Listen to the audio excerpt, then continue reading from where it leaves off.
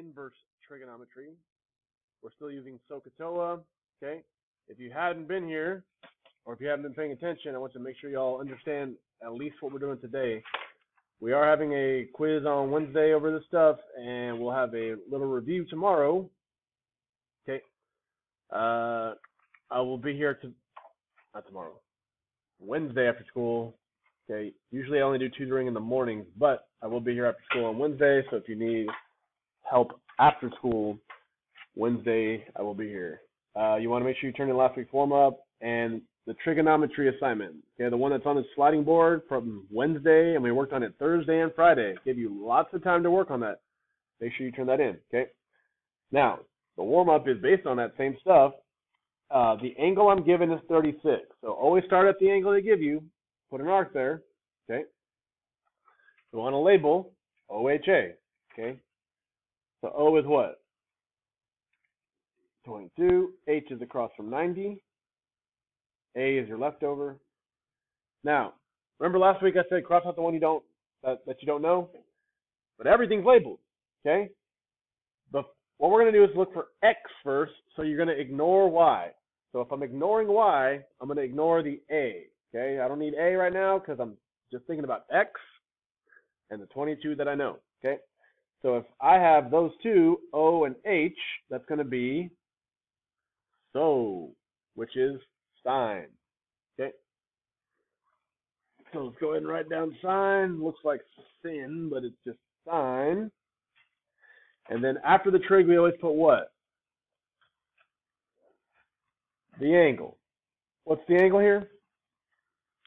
36. So sine 36 equals and it's again trig the sign is so it's O over H, which is 22 over X. Do y'all remember the trick to solve for X here? We switch it with sine 36 and X. Those are going to switch places. So X equals 22 on top, sine 36 on the bottom, And we can use that to find our answers. Let's go to our calculator. I'm going to do a new document. Don't save.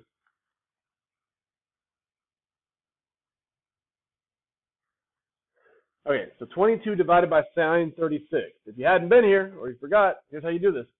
22, control divide. Trig is next to the number 7, right there in the trig button. Trig, we'll hit sine 36 and then I hit enter and I want to round two decimal places to the right of the decimal. So I got 37.428.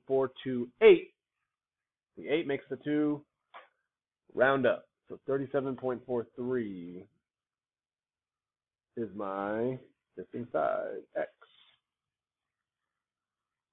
I'll label it. Okay, so now I know X is 37.43. Now I can find y. There's two ways to find y. How do you think I can find y? Give me one way.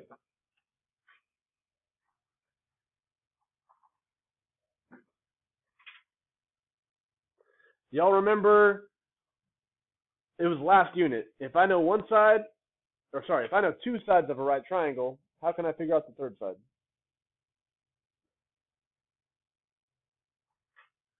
Remember A, B, and C? Remember what that theorem was called?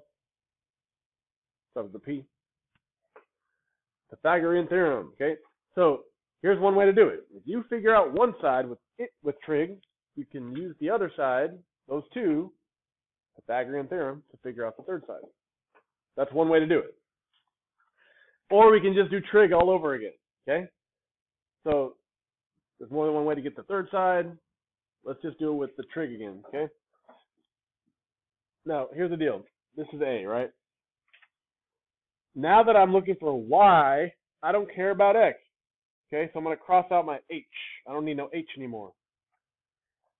If I'm looking for Y, I need the Y and the 22. That's O and A. So Katoa, which one's OA? TOA. Let's go ahead and write tan. The angle 36. Equals O over A, which is 22 over X. Just like last time, when X is on the bottom, you do the switcheroo. Tan 36 and X are going to switch spots. So X equals 22 over tan 36. And we can type that into our calculator. Okay, 22 divide tan 36. Ta-da! We get 30.280, which is just 30.28. By the way, that's a y, not an x, I should say. Okay, so y equals 30.28.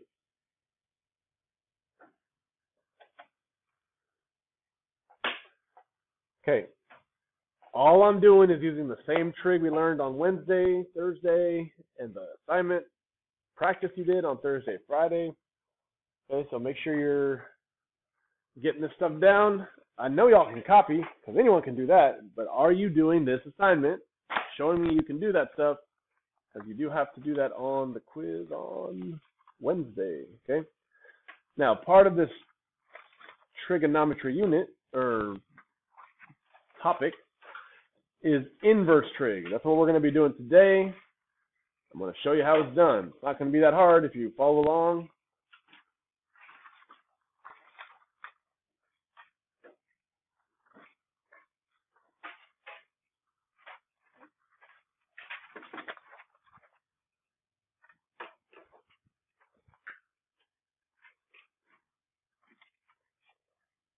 All right, here we go.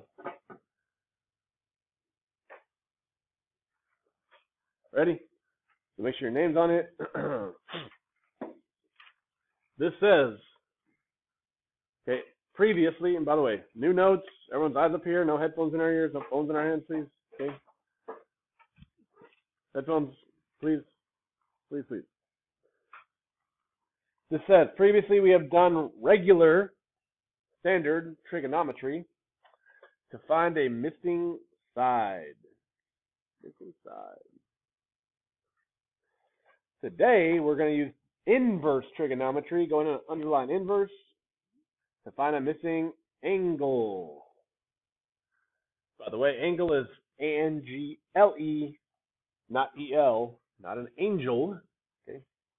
Though, of course, math is angelic. No, seriously. Uh, angle. Now, what do I mean about, you got a phone in your hand, put it down. You got headphones in your ears? Take them out.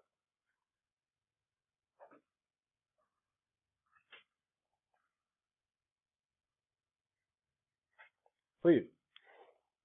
So inverse is notated with a little negative one. Okay, that means inverse. Looks like an exponent, little negative one. Okay.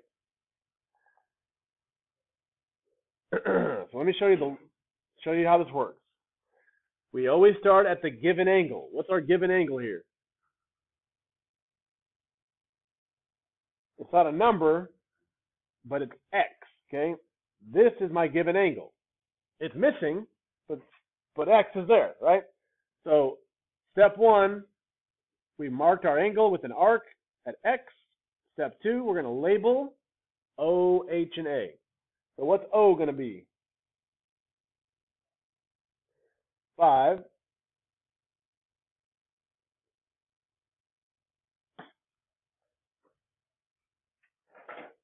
And then H is going to be what? Nothing, right? There's nothing there. Then A is going to be the leftover, which is 14, okay?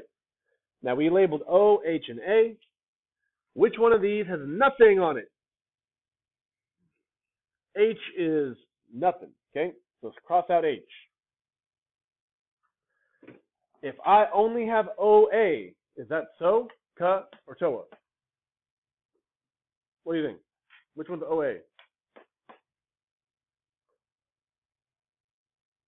Oh OA, right? Tan. TOA. So it wasn't OH, it wasn't oh OA, it was tan, TOA, right? So go ahead and write tan. Now, what do I always put after the trig? The angle. What's the angle? I don't know it, but it's x. Okay, I'm missing the angle, but I still got to put it. Tan x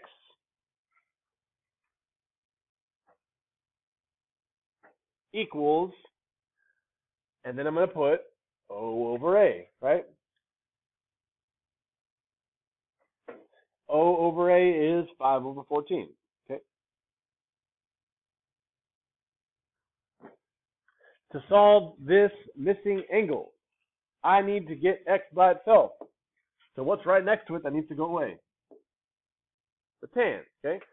So when you have a missing angle, you need to get rid of the trig. Okay? So here's the new thing that you're learning today. I'm going to show you how to get rid of trig, okay? And as you can imagine, it has to do with this stuff up here. You get rid of trig with what's called inverse trig with a little negative one. Now I'm going to write out the long way first, and then I'll show you a shortcut notation, okay? But what I'm going to do on each side, I'm going to put tan inverse with the little negative one. So here's how, here's how it's going to look. Tan inverse of tan x equals tan inverse of 5 over 14. All I did was add tan inverse on both sides, on the left and on the right.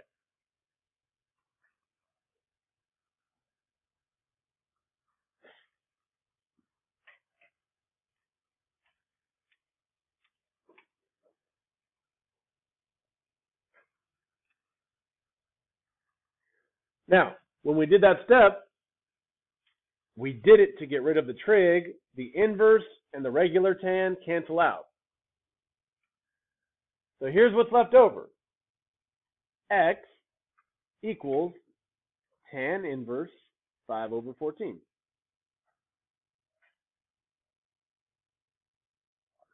So look at the beginning and look at this step I just wrote.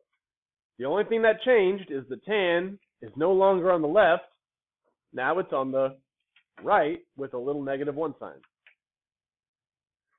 So here's a rule. When you move trig to the other side, you got to put a little negative one on it. Okay, it's got to be inverse. Can we type that in our calculators and get the answer? Now, you may be wondering, what's what's tan inverse? Where do I get that? Let me show you. You know that trig button? When you click the trig buttons, everyone looking right here? The top three are regular trig, but look right below it. Sine inverse, cosine inverse, tan inverse. All the inverse trig is right below the regular trig, okay?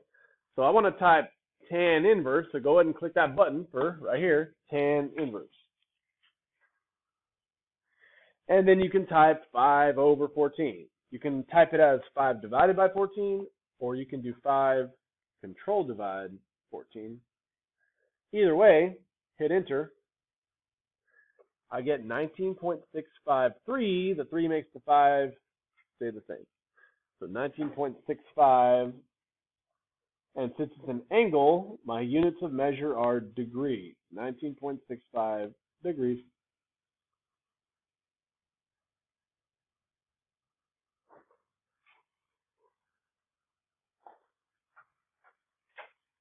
Now, I don't want you to have to write all that every time. So I'm going to show you a little shortcut. Ready? Number one. My missing angle is x, right? Go ahead and label OHA on number one at the bottom. Okay, I'll give you a few seconds. Go ahead, everyone label OHA on number one.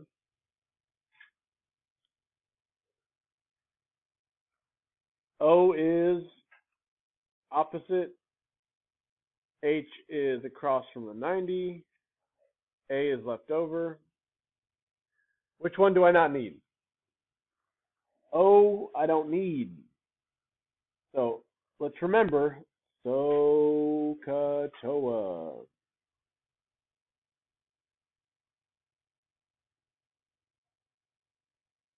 Now, AH is which one? SOHCA or TOA?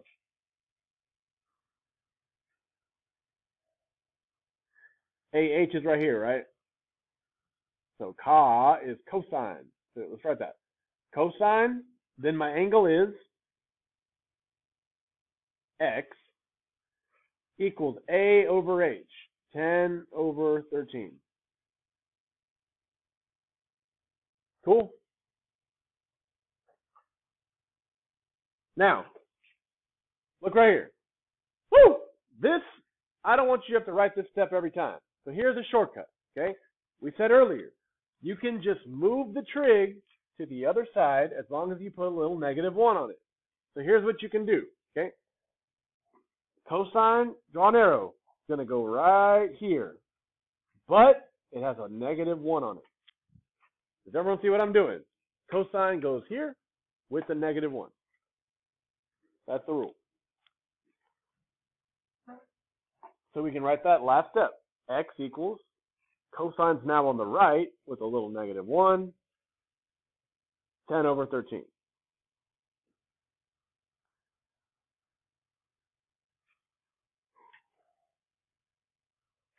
Could you type that in the calculator and get your answer?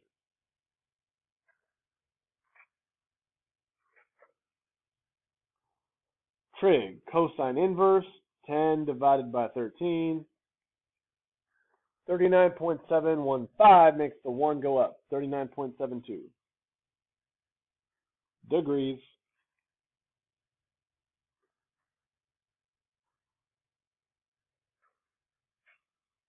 So far so good. Let's see how that works. Again, starting at x, label OHA, What's O? 11. What's H? Nothing. What's A? 16. Okay. Is everyone able to label OHA? Uh, which one do I not need? H is gone, so OA is TOA, stands for tan. So tan X equals O over A. 11 over 16.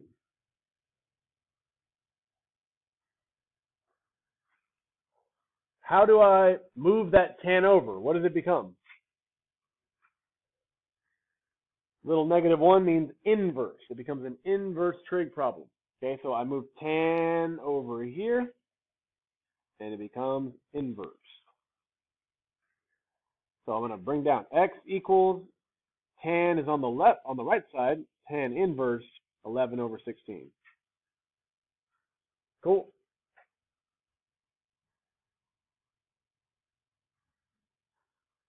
All right. Now let's type it in our calculator. Tan inverse 11 over 16.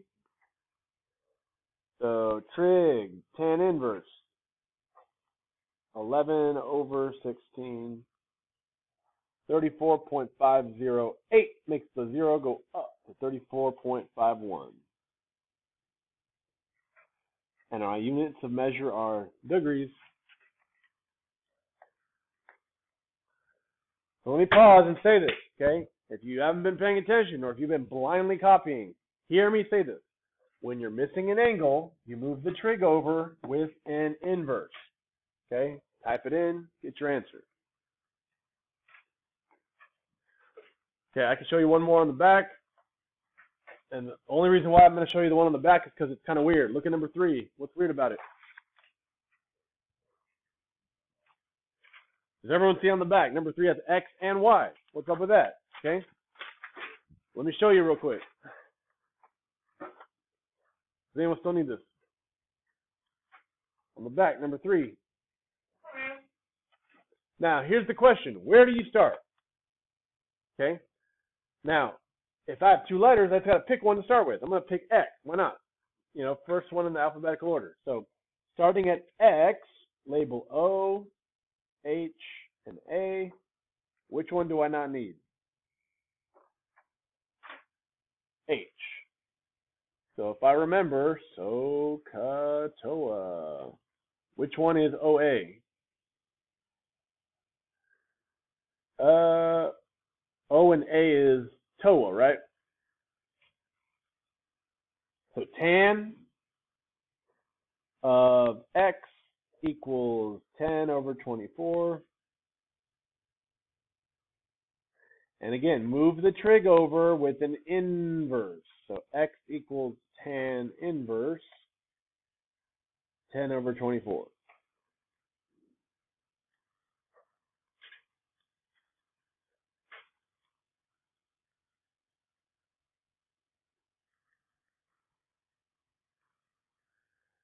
And I got 22.619 makes the one go up. 22.62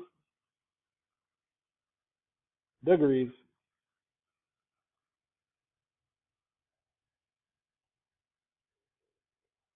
So right here,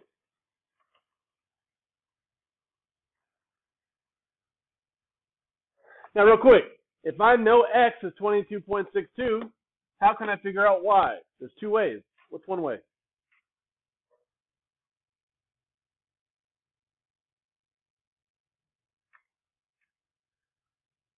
What I just did, I could do that again. It's trigonometry, right? I can do trig.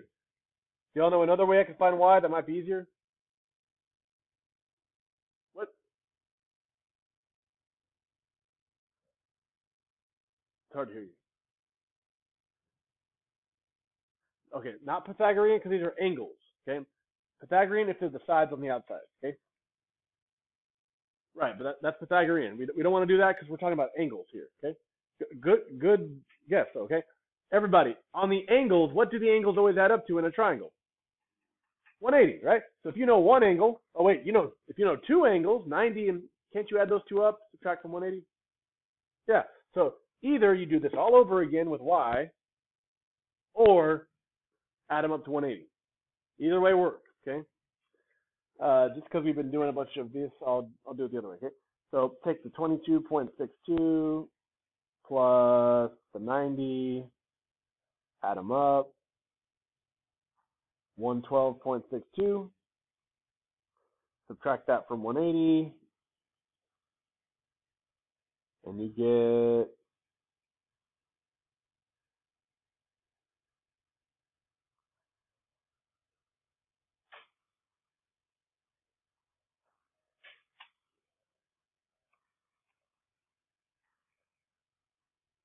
hold on.